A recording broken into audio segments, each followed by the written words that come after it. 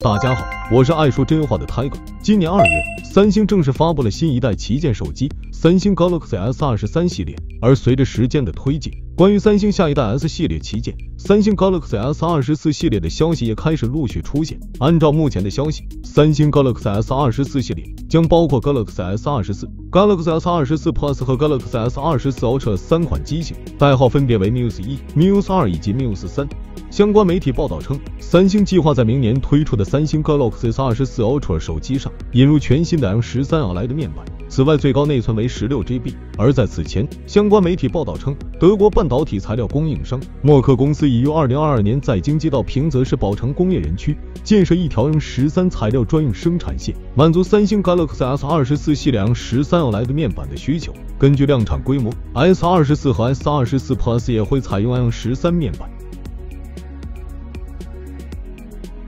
据了解，全新的三星 Galaxy S 二十四系列智能手机将会在明年正式发布。这次系列的亮点之一是其支持卫星通信技术。尽管相较于竞争对手，三星的这项卫星通信功能推出较晚，但无疑将为用户在紧急情况下提供更多选择。据外媒报道，三星与卫星通信功能提供商一星通讯达成了合作关系。一星通讯拥有全球范围的卫星通信网络，覆盖地球上的各个角落，包括南极和北极地区。三星 Galaxy S 二十四系列的卫星通信功能将使用户能够在没有地面网络信号覆盖的地区使用卫星通信，从而在紧急时刻获得及时的救援和支持。这项功能的引入为用户提供了一种更可靠的通信选择，特别是在遇到地面网络受限的情况下。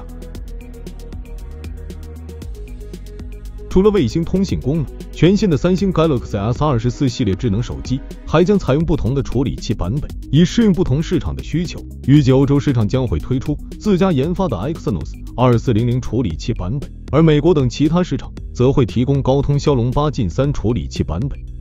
总之，三星 Galaxy S 二十四系列的推出将进一步丰富手机市场的选择。引入的卫星通信技术为用户在特定情况下提供了更可靠的通信手段。随着更多详细信息的发布，消费者们对于这一系列的期待也在逐渐升温。在内存方面，三星 Galaxy S 二十四和 Galaxy S 二十四 Plus 起步将从八 GB 提升到十二 GB，而三星 Galaxy S 二十四 Ultra 的内存为十六 GB。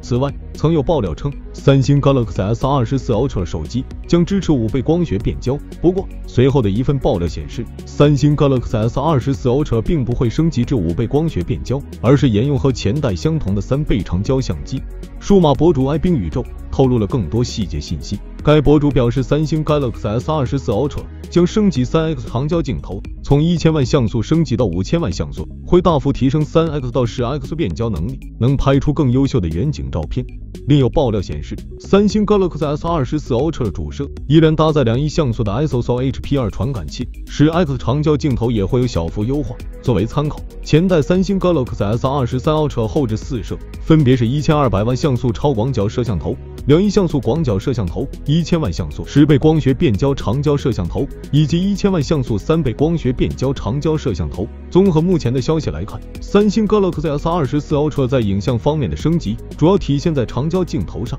除了影像信息，关于三星 Galaxy S 二十四系列的其他相关信息也在网上出现了。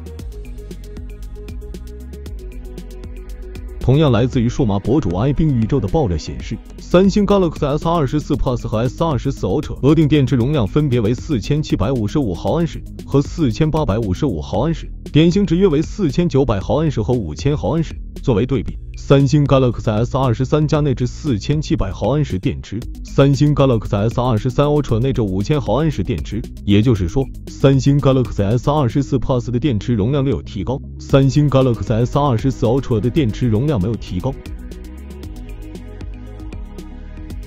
另外，三星 Galaxy S 二十四和三星 Galaxy S 二十四 Plus 预计将采用更窄的边框设计，其中三星 Galaxy S 二十四 Plus 有望配备六点六五英寸屏幕，内存八 GB 起步。据悉，三星 Galaxy S 二十三 Plus 的屏幕尺寸为六点六英寸，内存八 GB 起步。三星 Galaxy S 二十四 Ultra 还将有望配备钛金属中框。其他规格方面，三星 Galaxy S 二十四 Ultra 有望支持一百四十四赫兹屏幕刷新率，核心搭载高通骁龙八 Gen 三 for Galaxy 芯片，运行基于 Android 十四的 One UI 六操作系统。支持卫星连接功能。作为对比，